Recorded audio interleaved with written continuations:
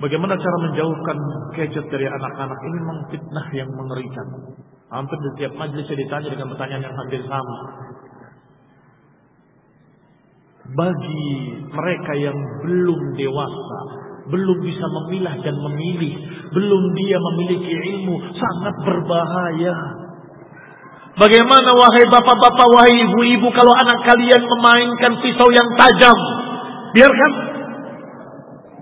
Gak apa-apa, itu kan bermanfaat. Dia bisa potong-potong kue, bisa potong buah. Gitu. Kamu akan mengatakan, jangan. Nanti kena tangan, jangan. Ini masih kecil dia. Lah begitulah kalian menghadapi gadget ini.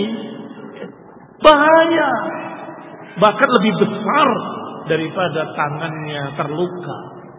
Tangannya terluka itu kecil.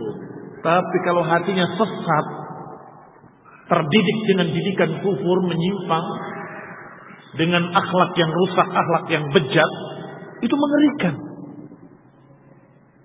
Wallah, wallahi, wallahi, wallahi. Mengerikan sekali. Kalau dulu orang-orang tua itu menjaga anak perempuannya, sangat, sangat, sangat dijaga seperti menjaga berlian dan mutiara. Jangan tanya malam hari, sore sudah pulang semua. Kalau ada yang tidak belum pulang akan dicari. Sekarang hilang. Yang kedua, mereka menjaga anaknya dulu untuk jangan nak bersolek nanti kalau sudah nikah aja untuk suamimu. Itu dari dulu masyarakat kita seperti itu, masya Allah. Tapi sekarang bersolek, jandang, selfie disebar.